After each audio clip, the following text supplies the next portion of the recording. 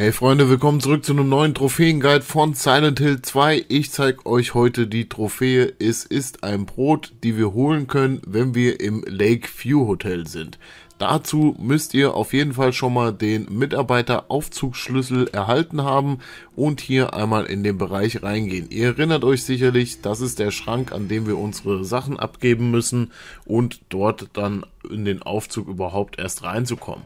Und da haben wir dann in dem nächsten Bereich, das ist so ein Schleichbereich, da haben wir dann keine Waffen und keine Gegenstände und wir müssen dann später in die Küche. Und in der Küche könnt ihr dann das Brot untersuchen. Lauft hier also einmal lang, springt durchs Fenster durch, schnappt euch noch den Gesundheitsdrink und ihr könnt euch hier hinten durch den Spalt in der Wand einmal durchquetschen. Ihr kommt dann hier zu der Küche und in diesem Bereich ist ein Gegner, den ihr auch nicht bekämpfen könnt, weil ihr ja keine Waffen habt. Passt da also ein bisschen auf und an dem müsst ihr einmal vorbei und hier hinten vor allem auch noch ähm, ja, den grünen äh, Stein einsammeln und den braucht ihr für die Lösung hier. Dann geht ihr einmal hier die Runde und hier hinten rechts in der Ecke, da könnt ihr eben das Brot einmal untersuchen und erhaltet dann hier auch die Trophäe. Pusht das Däumchen nach oben und bis zum nächsten Mal, Leute.